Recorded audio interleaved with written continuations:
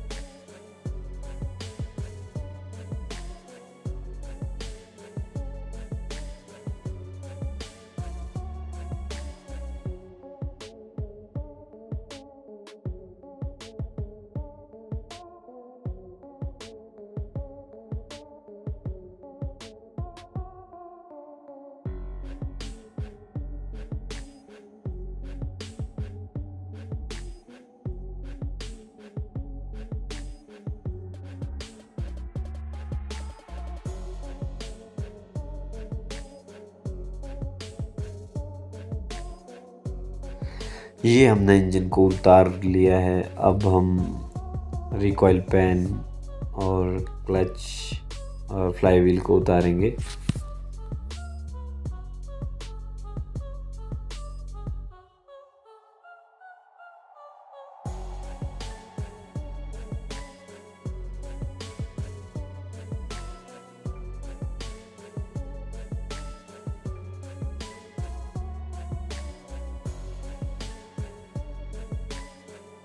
three.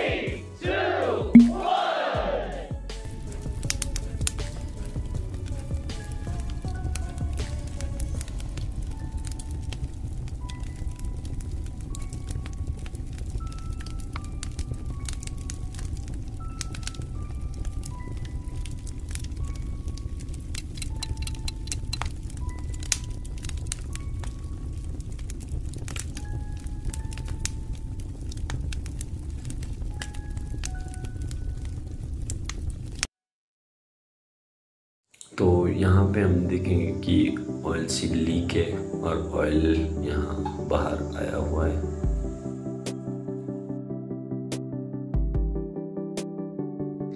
अब हम oil seal opener लेंगे और ऑयल सील ओपनर की हेल्प से हम जो पुरानी ऑयल सील है, उसको हम निकाल देंगे, जो कि किसी काम की नहीं है तो हम इसको ऑयल सील ओपनर की हेल्प से निकाल देंगे ऑयल सील को। Cruising down the highway, windows down low Sunset paints the sky in a fiery glow Mountains rise up, touching clouds above Valleys below, filled with whispers of love और ये देखिए पुरानी oil seal cut गई थी तो इसकी हालत ख़राब है तो अब हम इसमें नई ऑयल सील इंसर्ट करेंगे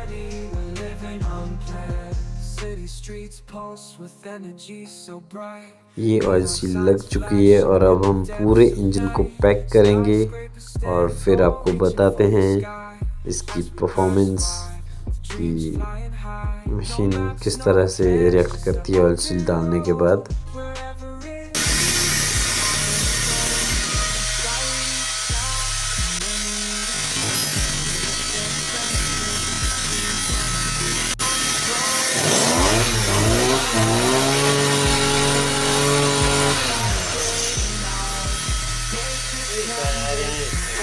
ये देखिए, अब आपके सामने है एस पचपन जो कि तैयार है नई गोल के साथ तो दोस्तों, कैसी लगी ये वीडियो? तो अगर ये वीडियो आपको अच्छी लगी हो तो वीडियो को लाइक करें कमेंट करें और शेयर करें। और ऐसी ही इन्फॉर्मेटिव वीडियो देखने के लिए मेरे यूट्यूब चैनल के साथ जुड़े रहिए। Thank you